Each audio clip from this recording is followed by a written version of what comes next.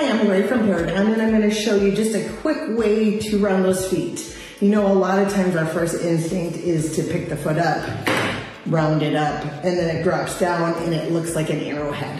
The reason is, is once you pick it up, the foot is nice and loose, um, then you put it down and the toes splay. So you end up getting probably not the shape you're looking for. So what you wanna do is block your foot in. So I'm gonna comb it up and I'm gonna do my front first. So I'm going to find my nails. I've got my curved shears and I'm gonna block it in. Just think about blocking it in. Come to the side, take, take my curves.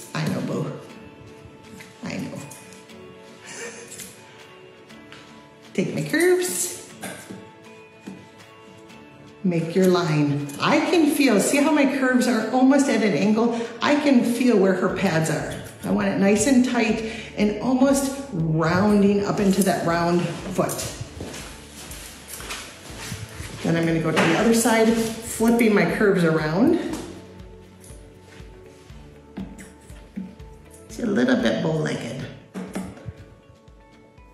And trimming here.